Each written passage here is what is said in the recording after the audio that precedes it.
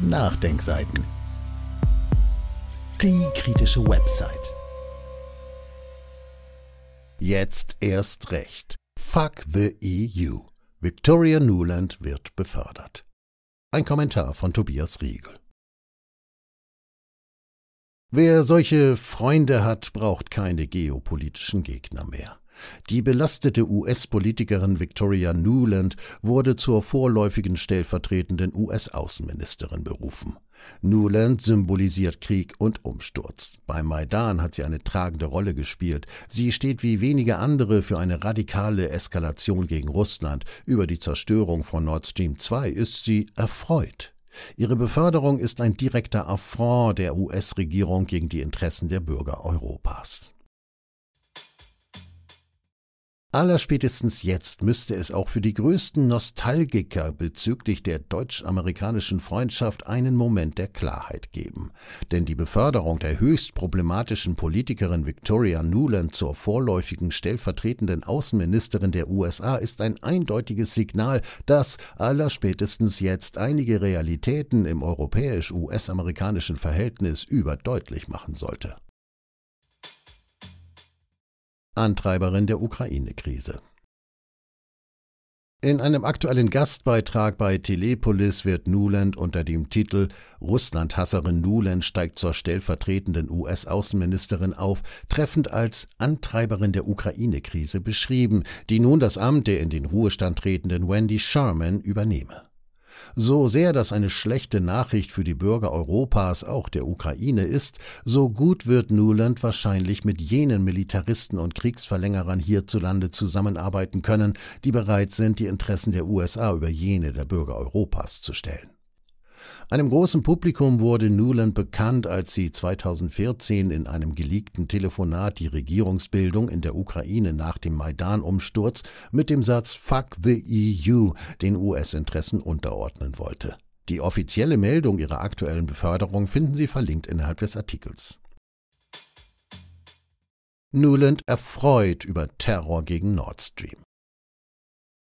Schon 2021 mit Abstand zu ihrem Wirken im Zusammenhang mit dem Maidan-Umsturz 2014, der als ein voraussehbarer Ursprung des heutigen Ukraine-Kriegs zu gelten hat, sollte Nuland politisch rehabilitiert werden. Sie wurde damals zunächst für den Posten als Unterstaatssekretärin für politische Angelegenheiten gehandelt. Bereits dagegen hatten über 20 US-Organisationen einen offenen Brief unterzeichnet, über den Infosperber berichtet hatte. In dem Appell heißt es, Nuland spielte eine Schlüsselrolle bei der Ermöglichung eines Putsches in der Ukraine, der einen Bürgerkrieg auslöste, der bisher mehr als 10.000 Menschenleben kostete und über eine Million Menschen vertrieb. So spielte sie auch eine Schlüsselrolle bei der Bewaffnung der Ukraine. Sie befürwortet radikal erhöhte Militärausgaben, die Erweiterung der NATO, propagiert Feindseligkeit gegenüber Russland und Bemühungen, die russische Regierung zu stürzen. Zitat Ende. Kürzlich fiel Nuland damit auf, dass sie, inzwischen im Amt als Unterstaatssekretärin, unverhohlen ihre Freude über einen Terroranschlag gegen eine nach Deutschland führende Pipeline äußerte, wie die Nachdenkseiten in einem verlinkten Artikel berichtet haben. Zitat Senator Cruz, wie Sie bin auch ich und ich denke auch die Regierung sehr erfreut darüber, dass Nord Stream 2 nun, wie Sie sagen, ein Haufen Metall auf dem Meeresgrund ist. Zitat Ende. Die aktuelle Beförderung Nulands ist ein deutliches Zeichen der politischen Härte gegenüber den Interessen der EU-Bürger. Ihre Berufung ist ein gefährliches Vorzeichen für eine weitere unverantwortliche Zuspitzung beim Ukraine-Krieg. Nuland und die deutschen Medien, Biden und die Kriegstreiber. Die Personalie Newland wirft zusätzliches Licht auf die problematische Mannschaft von US-Präsident Joe Biden.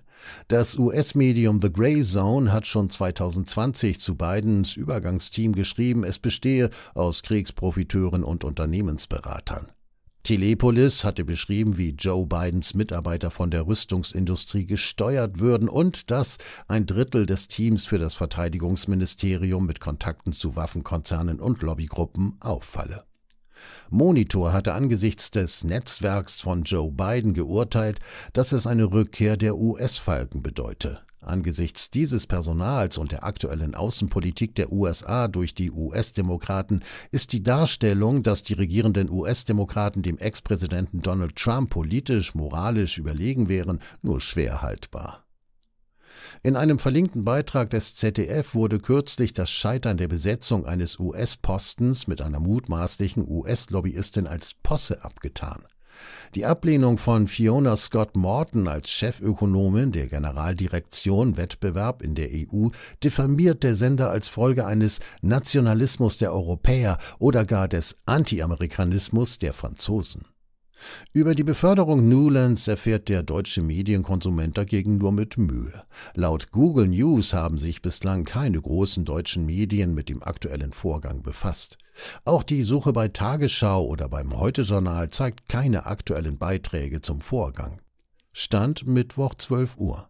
Vielleicht möchte man die amerikanischen Freunde nicht in ein schlechtes Licht rücken, indem man die personellen Realitäten innerhalb der US-Regierung allzu genau betrachtet. Dieses Audio konnte nur entstehen, weil zahlreiche Leser und Leserinnen die Nachdenkseiten fördern und durch Spenden unterstützen. Wenn Sie auch etwas tun wollen, klicken Sie einfach den entsprechenden Button auf unserer Website an. Übrigens, Sie können uns auch bei iTunes, SoundCloud und YouTube hören und wenn Sie mögen, gerne unseren Kanal abonnieren und eine positive Bewertung für uns abgeben. Wir freuen uns über Ihre Unterstützung und die Weiterverbreitung unserer Inhalte.